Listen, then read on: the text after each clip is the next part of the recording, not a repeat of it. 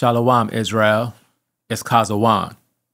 And the name of this video is Should We Accept the Apocrypha? I'm doing this video because many people have asked me this question. And the answer is yes, we should. Now, many people reject the Apocrypha because they claim that it teaches false doctrine. So I want to deal with the false doctrine argument in this video. This is Proverbs chapter 30 and verse 5. It says, Every word of the Most High is pure. So we see that the word of the Most High is pure. So let's compare the Apocrypha and the Bible to see if they both teach the same thing. And if they do, then the words of the Apocrypha are pure also. Now, when it comes to the argument that the Apocrypha teaches false doctrine, there's four main arguments that I want to address. The first argument is that the Apocrypha teaches that you can earn your way into heaven by giving money. That's a claim that people make. Let's look at it. This is Tobit chapter 4 and verse 10. It says, Because that alms do deliver from death, and suffereth not to come into darkness. So here it says that giving alms delivers you from death. Now let's get another verse. This is Tobit chapter 12 and verse 9. It says, For alms does deliver from death.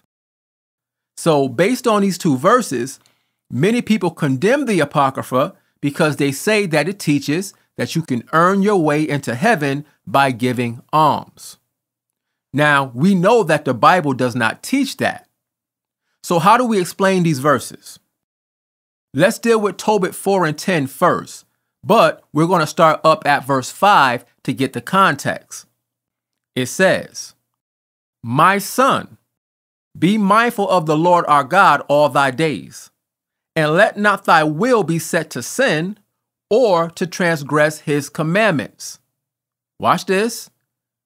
Do uprightly all thy life long, and follow not the ways of unrighteousness. Now, if Tobit believed that you could earn your way into heaven by giving alms, why would he be teaching his son not to be unrighteous? Why tell him to do uprightly all his life if he could just give away alms and earn salvation? Obviously, that's not what Tobit taught or believed. Verse 6, it says, For if thou deal truly, thy doing shall prosperously succeed to thee and to all them that live justly. Notice again that Tobit is teaching to live a just life. Verse 7. Watch this. It says, Give alms of thy substance. So Tobit is teaching that it's good to give. It says, And when thou givest alms, let not thine eye be envious. Meaning, when you give, don't look at what you gave and think about what you could have done with it. Give it away cheerfully. It says, Neither turn thy face from any poor, and the face of the Most High shall not be turned away from thee. So Tobit said, Help out your brothers and your sisters in the truth, if you can. Verse 8, it says, If thou hast abundance, give alms accordingly. Meaning, if you have a lot to give, then give a lot. It says, If thou have but a little, be not afraid to give according to that little. In other words, you give whatever portion that you're able to give. Why? Verse 9, it says, For thou layest up a good treasure for thyself against the day of necessity. In other words, when you give to your brothers and sisters, the Most High becomes generous towards you because of your generosity towards others. When you're willing to give of your substance, rather it be food, clothing, shelter, even finances, When you do that, you build up favor with the Most High, which He releases for you when you find yourself in a time of need. This is what Tobit is talking about. Now, with that context, let's read verse 10. It says, Because that alms do deliver from death, and suffereth not to come into darkness. Now, is Tobit saying that you can earn your way into the kingdom by giving alms? No. He's saying that when a person is willing to help others with his substance, the Most High will show favor to that person and deliver him from hard times and even death. So, this is not about buying your way into heaven. This is about being a righteous person and obtaining favor from the Most High through your generosity. Verse 11, it says, For alms is a good gift unto all that give it in the sight of the Most High. Why? Because the Most High rewards those who express their love through their actions. Watch. This is Matthew 6 and 3. This is Yahushua talking. It says, But when thou doest alms, let not thy left hand know what thy right hand doeth. In other words, don't broadcast the good that you do when you give something away. Don't run around telling everybody, I gave this and I gave that. Just give what you're going to give. Why? Verse 4, it says, that thine alms may be in secret. Watch this. And thy Father which seeth in secret himself shall reward thee openly. This is what Tobit was talking about. The Most High will give you favor when you give favors to others. So that's the first one. Now let's go to Tobit chapter 12 and verse 9. It says, For alms does deliver from death. We just broke that down and explained it. It says, and shall purge away all sin. It goes on to say, those that exercise alms, watch this, and righteousness shall be filled with life. So it's not just giving alms, it's living a righteous life. And in order to live a righteous life, you have to turn away from your wickedness. So Tobit is not saying that you can somehow give enough away to earn your place in the kingdom. Again, we have to look at the context of what's being said. Let's go up to verse 8. It says, Prayer is good with fasting and alms and righteousness. Clearly, Tobit is not teaching to just depend on alms for salvation. He mentioned prayer, fasting, alms, and righteousness. It says, A little with righteousness is better than much with unrighteousness. Again, Tobit is teaching to live righteously. It says, It is better to give alms than to lay up gold.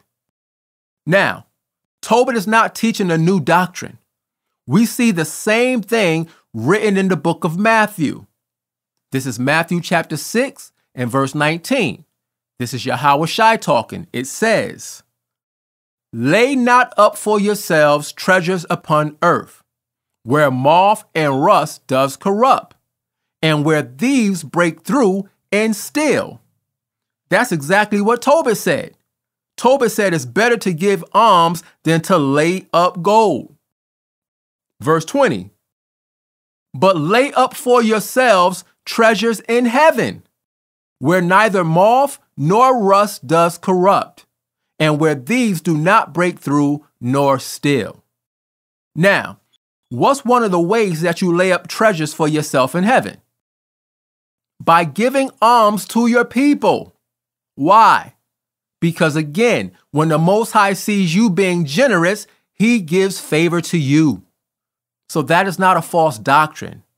The Standard Bible teaches the same thing. Now, the next argument against the Apocrypha is that it teaches that money can be given as a sin offering to the Most High. Let's look at it. This is 2 Maccabees chapter 12 and verse 43. It says, And when he had made a gathering throughout the company to the sum of 2,000 drachms of silver, here it is, he sent it to Jerusalem to offer a sin offering, doing therein very well and honestly, in that he was mindful of the resurrection. So we see here that money was collected and that it was sent to Jerusalem to offer as a sin offering. Now, we know that during this time, you had to offer animal sacrifice as a sin offering. So people who are against the Apocrypha use this verse to say that it's teaching a false doctrine of giving money as a sin offering. The problem, like always, is that people are misunderstanding what this verse is actually saying. Let's read it again. 2 Maccabees chapter 12 and verse 43. It says, And when he had made a gathering throughout the company to the sum of 2,000 drachms of silver, that's money, it says, he sent it to Jerusalem to offer a sin offering, doing therein very well and honestly, and that he was mindful of the resurrection. So again, we see that money was collected and that it was sent to Jerusalem to offer a sin offering. Now, before we explain this, let's go to Exodus chapter 30 and verse 11 to see if we can find the same thing. This is Exodus chapter 30 and verse 11. It says, And Yahweh spake unto Moses, saying, Verse 12, When thou takest the sum of the children of Israel after their number, watch this, then shall they give every man a ransom for his soul unto Yahweh when thou numberest them, that there may be no plague among them when thou numberest them. So the Most High said that every man had to give a ransom for his soul. That's a sin offering. Now let's see what they gave. Verse 13 This they shall give, every one that passeth among them that are numbered. Here it is half a shekel after the shekel of the sanctuary. A shekel is 20 gerahs. It says, and half shekel shall be the offering of Yahweh. Now, this looks just like the same thing that we read in the Apocrypha. Let's keep reading. Verse 14 Everyone that passeth among them that are numbered, from 20 years old and above, shall give an offering unto Yahweh. Verse 15 The rich shall not give more, and the poor shall not give less than half a shekel when they give an offering unto Yahweh.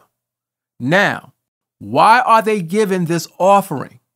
It says, to make an atonement for your souls. So here we see that money was given for the purpose of atonement. But here is where the misunderstanding comes in. Verse 16 And thou shalt take the atonement money of the children of Israel and do what? It says, and shall appoint it for the service of the tabernacle of the congregation that it may be a memorial unto the children of Israel before Yahweh. Here it is to make an atonement for your souls. You see? So, what did they do with this atonement money that was collected? They used the money for the services of the tabernacle. In other words, they used the money to buy the things necessary for the tabernacle to run. They didn't burn the money on the altar as a sin offering.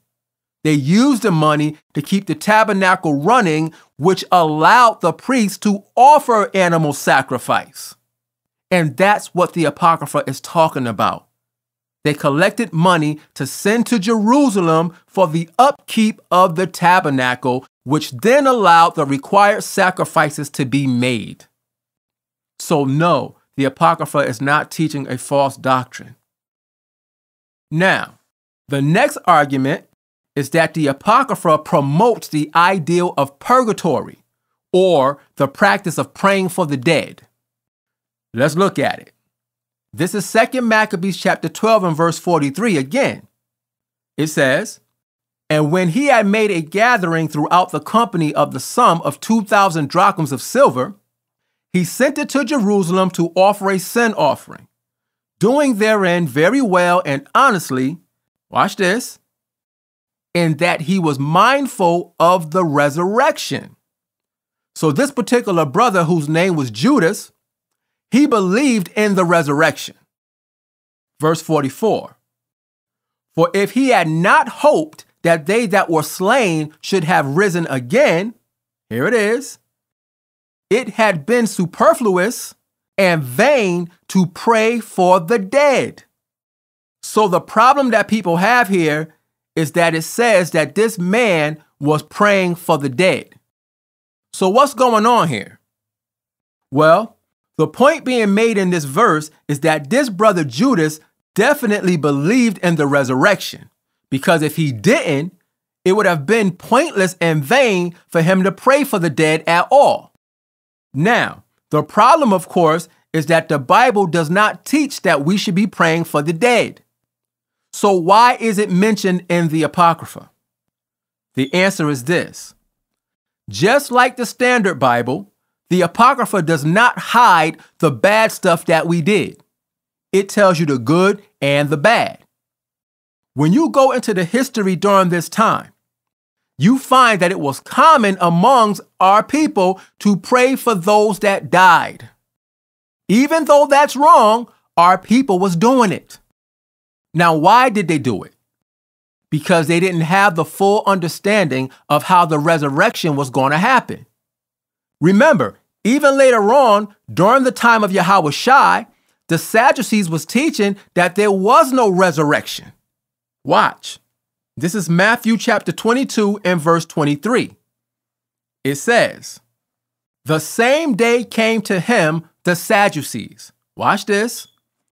Which say that there is no resurrection, and asked him. See that? So even during the time of Yahushua, there were groups teaching that there was no resurrection. And that's why you see Paul breaking down the resurrection in his writings. Now, the brother Judas in the Apocrypha, he believed in the resurrection, but he didn't have the proper understanding of how it was going to take place. So, a lot of people during that time, they had good intentions when they prayed for the dead, but they didn't know they were in error. They thought that by praying for the dead, it would increase their chances of rising up in the resurrection. Again, that's why Paul had to give the proper understanding in his writings. This is 1 Thessalonians 4 and 13. It says, But I would not have you to be ignorant, brethren, concerning them which are asleep. Notice what Paul said. He said, I don't want you to be confused about what's going to happen to those that died. That shows you that some people didn't understand exactly how the resurrection was going to take place. It says, that ye sorrow not, even as others which have no hope. Verse 14 For if we believe that Yahushua died and rose again, even so, them also which sleep in Yahushua will the Most High bring with him. So Paul said, Don't worry about those who died in the truth, because they're going to rise again. So again, this shows you that there were people who did not have clarity on the resurrection issue. Now, let's go back to 2 Maccabees 12 and 44. It says, For if he had not hoped that they that were slain should have risen again, it had been superfluous and vain to pray for the dead. So again, this brother Judas believed in the resurrection and he prayed for the dead because he thought he was helping their cause. Verse 45, it says, And also in that he perceived that there was great favor laid up for those that died godly. It says, It was an holy and good thought, meaning he was right in his thinking as far as the reward waiting for the righteous. He was right about that. It says, Whereupon he made a reconciliation for the dead, that they might be delivered from sin. So this brother Judas prayed out of the concern for those who died in the faith. He was trying to cover any mistakes they might have made during their lifetime. Now, does that make what he was doing right as far as praying for the dead? No, but it doesn't say that what he was doing was right. This is just a record of what he and others during that time was doing. They didn't have the proper understanding. Now, watch this. If the Apocrypha is wicked for having this story in it, then that would make the Standard Bible wicked too. Why? This is 1 Corinthians chapter 15 and verse 29. It says, Else, what shall they do? Watch this which are baptized for the dead. If the dead rise not at all, why are they then baptized for the dead? So here we see Paul talking about people who are being baptized for the dead. Now we know that the Bible does not promote this practice, but yet we see Paul talking about it. So does that make the Bible wicked also? because Paul is talking about this subject? No. Paul is addressing a particular practice that was happening during his time. There were people who believed that they could get baptized in the place of other people who had died outside of the truth. There was all types of beliefs around, and they had to be addressed. So Paul is using their own thinking against them. He said, look, if the dead don't rise like you guys say, then why are you getting baptized for the dead? You see? Paul is not teaching that it's right to get baptized for the dead, just like the Apocrypha is not teaching that it's right to pray for the dead. Both subjects are being addressed because these are beliefs that our people had. So again, the Apocrypha is not teaching false doctrine. Now, the next argument against the Apocrypha is that it promotes the use of magic. Let's look at it. This is Tobit chapter 6 and verse 1. It says, And as they went on their journey, they came in the evening to the river Tigris, and they lodged there. Verse 2 And when the young man went down to wash himself, a fish leaped out of the river and would have devoured him. Verse 3 Then the angel said unto him, Take the fish. And the young man laid hold of the fish and drew it to land. Verse 4 To whom the angel said, Open the fish. Watch this. And take the heart and the liver and the gall and put them up safely. So the angel told Tobias to take the heart, the liver, and the gall of the fish and to put it in a safe place. Verse 5 So the young man did as the angel commanded him, and when they had roasted the fish, they did eat it. Then they both went on their way till they drew near to Ecbatane. Verse 6 Then the young man said to the angel, Brother Azarias, to what use is the heart and the liver and the gall of the fish? So Tobias asked the angel, What are we going to use the heart, the liver, and the gall for?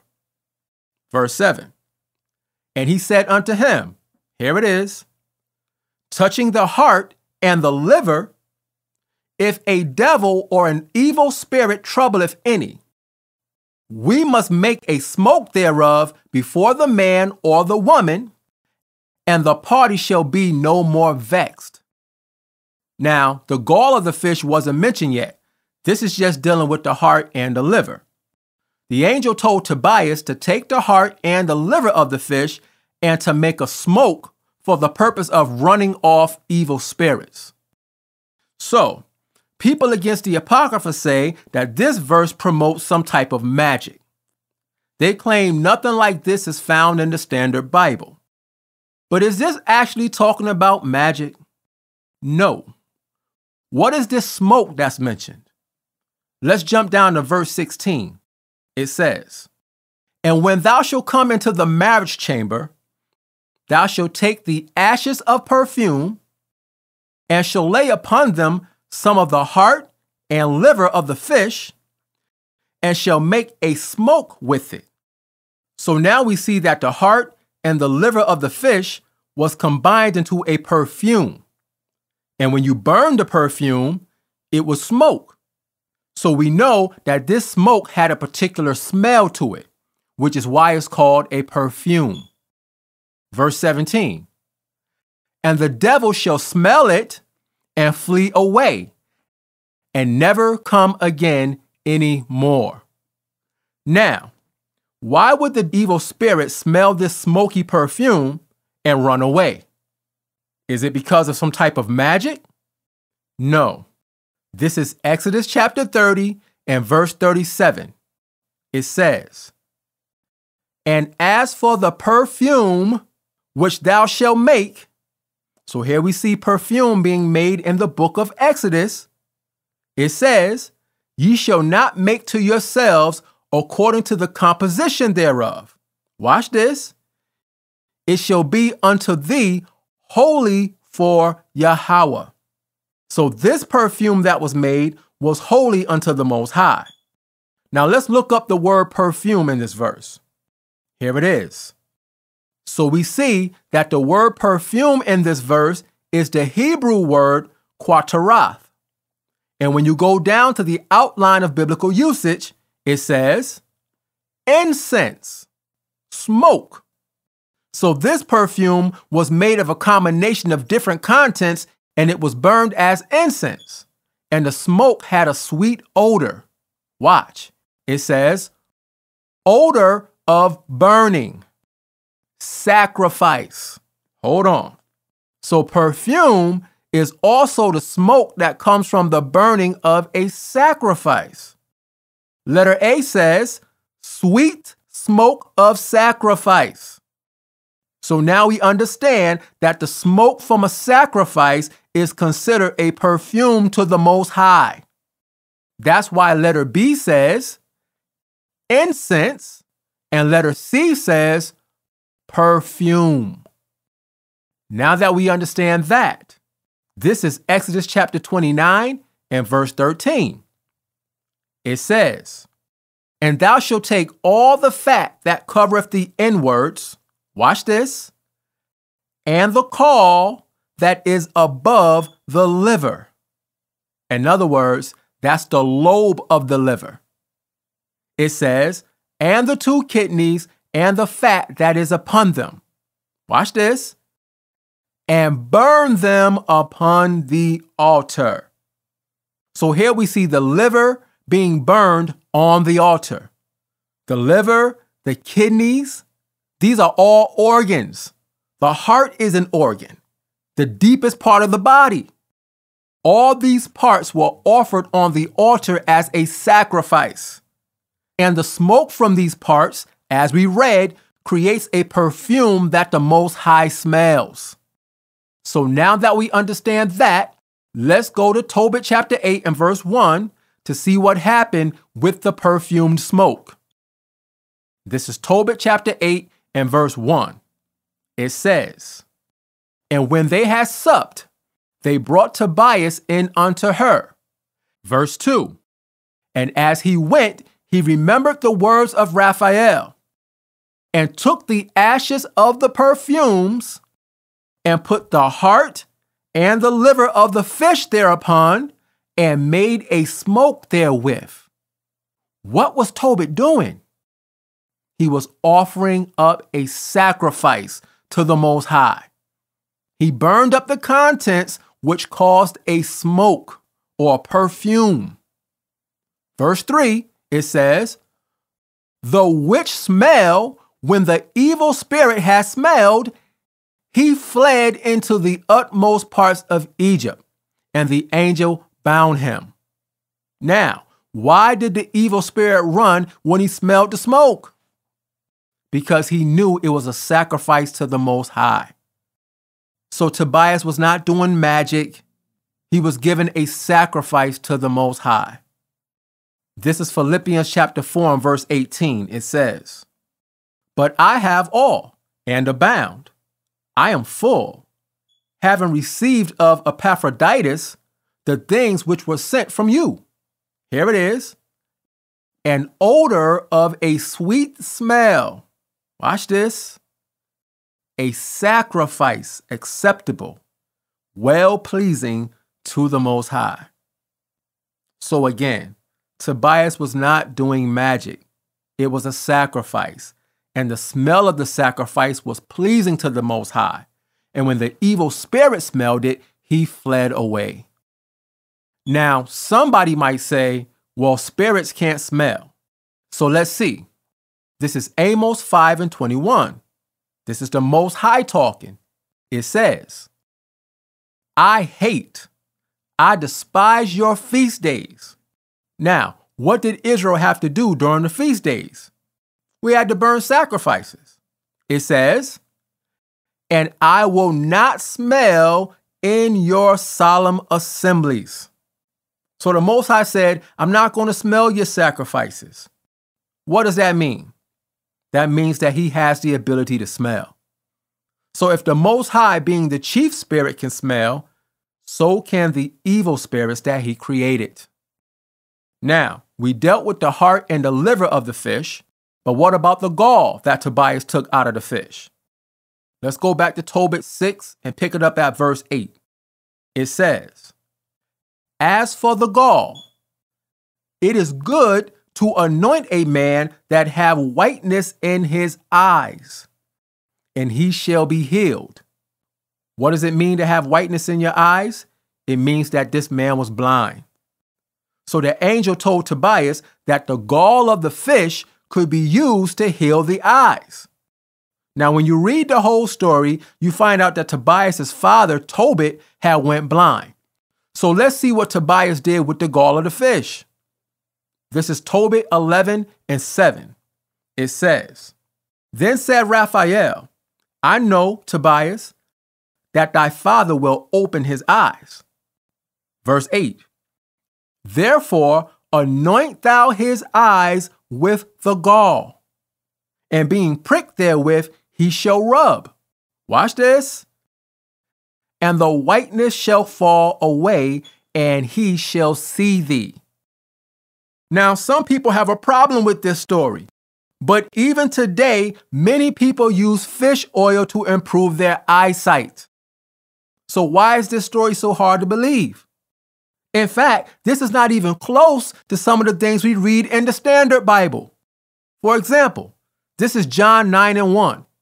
It says, And as Yahushua passed by, he saw a man which was blind from his birth.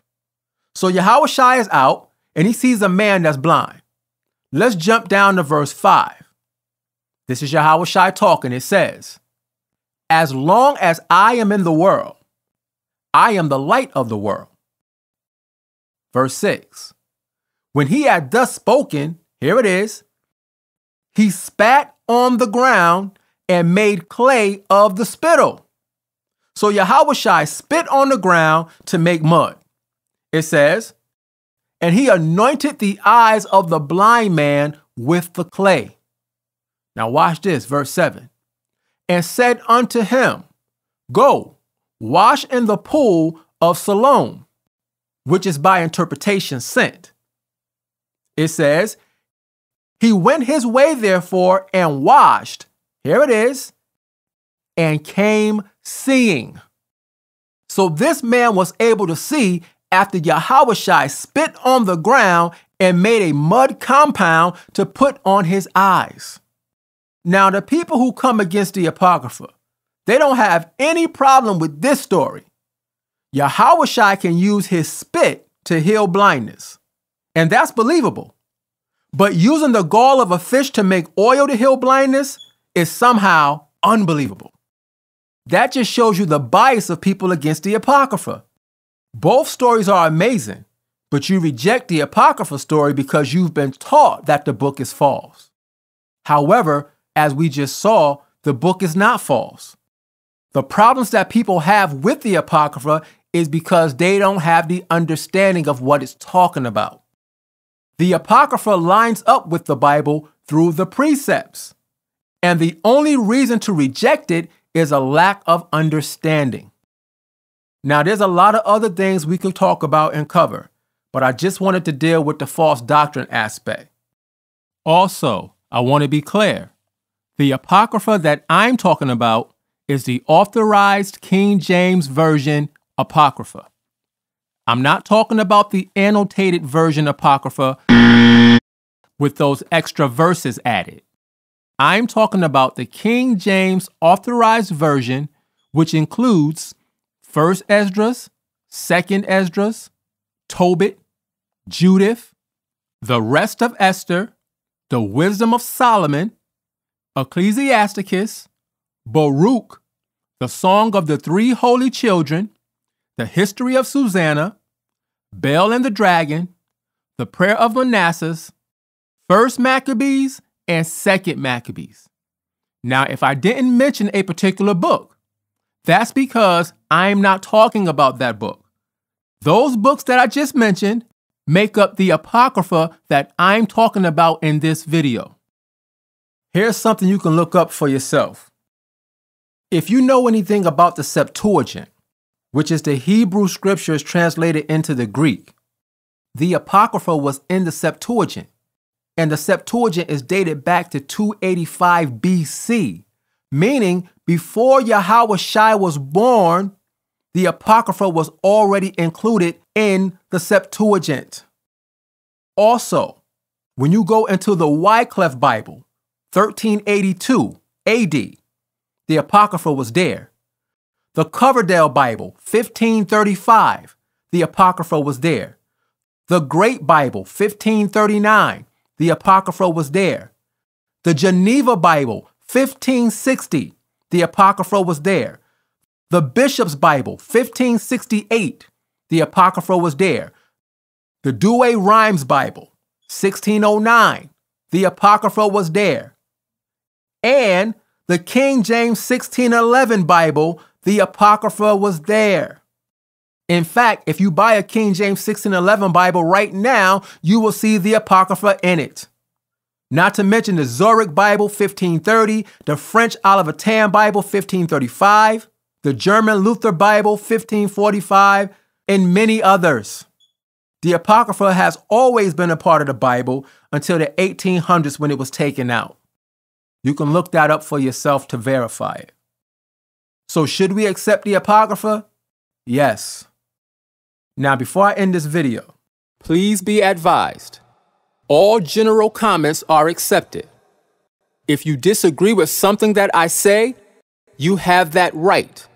However, if you attack me on a personal level outside of the scriptures and resort to name calling and childish, unspiritual behavior, your comment will be erased and you will be blocked. Also, if you disagree with something that I teach, that's fine. You have the right to comment about it. But if you make a comment in disagreement and you don't use scriptures to support what you're saying, I won't block you, but your comment will be erased because I deal with scriptures not opinions. Now, to the sincere Israelites who watch my videos, I'm not talking to y'all. I appreciate you guys for taking the time out to watch and listen. But I'm talking to these immature, non spiritual trolls who always have something to say. But when you go to their page, nine times out of 10, they don't have one single video teaching anything. But yet, they want to come on my page and teach in the comment section. I'm not allowing that anymore. So, with that being said, as always, I hope that somebody got some understanding from this video. And with that, I say, Shalom.